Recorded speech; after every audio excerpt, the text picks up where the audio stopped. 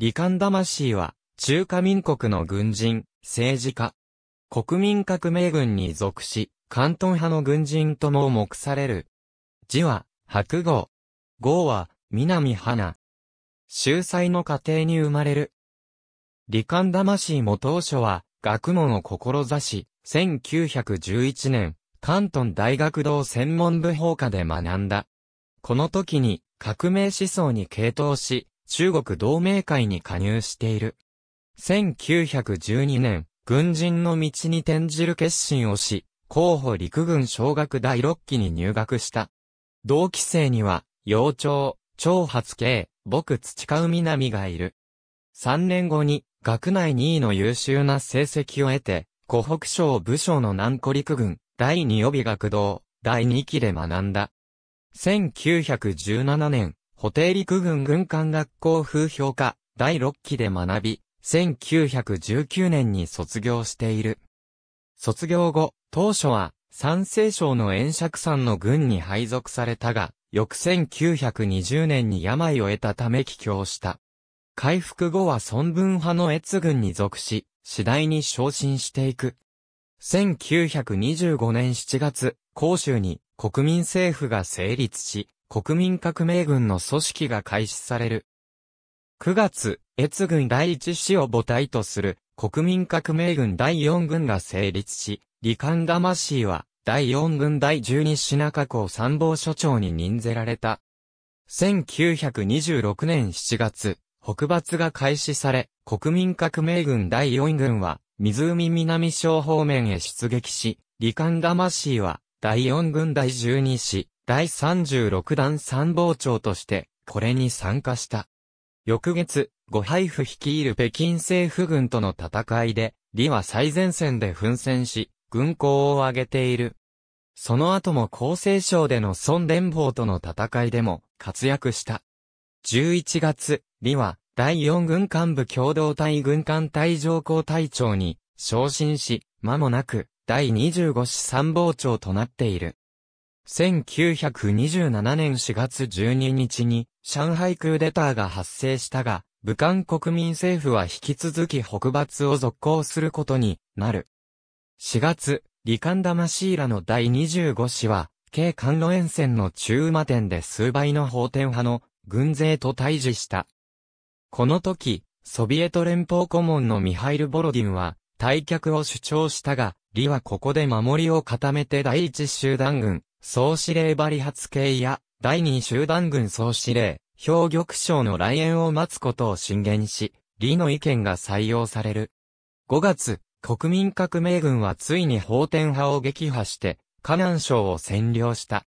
この軍港により、李は第25師市長に昇進している。同年7月15日、武漢国民政府が第一次国境合作の破棄を宣言すると、李官魂は、挑発系らに従い、反共路線に転じる。8月1日、幼鳥らが、南小起義を起こすと、李は、長の命令によりこれを討伐した。1928年4月、北伐の終盤に、李は、耳の病気治療のため、日本を訪れている。北伐完了後に帰国し、李は、第4軍から、縮み編された第4師で、参謀長となった。1929年3月、小桂戦争が勃発すると、小解析派に組みした挑発系は、第一素地右翼軍総司令権第四市市長に任ぜられ、李官魂は、同市副市長として新興制派討伐に従事した。9月、長が王朝名に呼応して、反将の兵を挙げると、李もこれに従っている。翌1930年の中原大戦でもバリに、従い反将軍として戦うが、7月に敗北に終わる。その後、同じ関東派の節学が第四子の再編の責任者となったが、李は、節と対立し、一時香港へ出奔してしまった。1931年2月、王朝名、陳渡る党らが、反省解析を宣伝して、西南派を結成し、5月には、広州に国民政府を分立させた。8月、李官魂も、香港から広州に戻り、公衆国民政府で第一集団軍総司令部中将参議に任ぜられている。同年12月に満州事変勃発に伴う小解析と西南派の大同団結を経て、李官魂は、越西北区、水税区、水税委員県関東陸軍独立第三市市長に任ぜられた。1935年、独立第三市は、関東陸軍第二軍第六市に改編され、引き続き、李が市長となり、関東に東区、水税委員も兼ねている。しかし1936年5月、陳は李を再議し、市長の職から第二軍副軍長へと移した。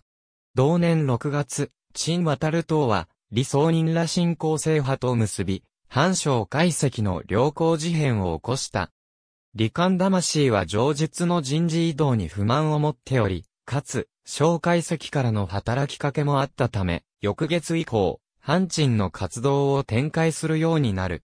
李は、同僚の関東陸軍第一軍軍長アマリカン、はかりごとらの協力を得ることに成功し、同月18日には陳をゲアに追い込んだ。この功績もあって、李は、第二軍副軍長兼第六市市長に任ぜられている。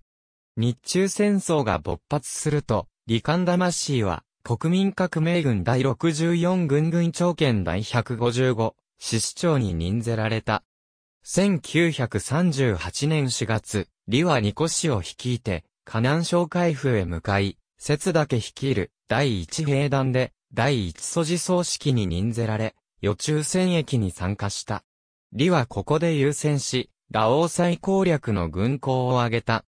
6月には、武漢海戦に参加するため、陳政が統括していた第九戦区の第二兵団総司令に任ぜられ、厚生省で日本軍を迎撃した。ここでも、李は軍港を挙げ、第8集団軍副総司令権、第29軍団軍団長に昇進している。この時、李は節から皇軍の近畿を授与された。同年12月、李官魂は、関東省政府主席兼民政庁長兼全省保安司令に任ぜられて、関東省に帰還し、同省の抗日戦指導に従事した。翌年3月には、小東部主任委員も兼ねる。11月、第35集団軍総司令に昇進した。李は、第4戦区副司令長官兼第12集団軍総司令となっていたアマリカン計りごとと連携して日本軍を相手に前線している。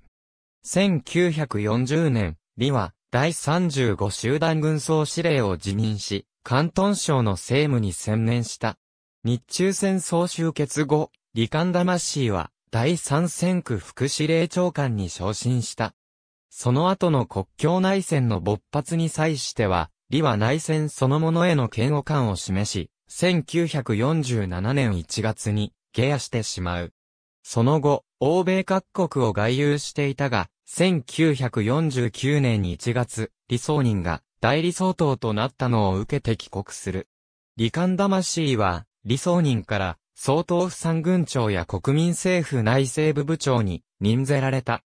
しかし、省と李宗人の対立が解消されず、省が大陸死守を唱えるのを見て失望し、10月には香港へ逃れた。間もなく李宗人と合流してアメリカへ去っている。以後、リカン魂はアメリカで家族と共に静かに余生を送ることになった。1982年5月、中華人民共和国全国人民代表大会、副委員長、両少氏の招請を受け、一時帰国している。この時に、鄧小平や楊健英など最高指導者たちとも、直に会見した。1987年6月30日、ニューヨークにて病没。去年93。ありがとうございます。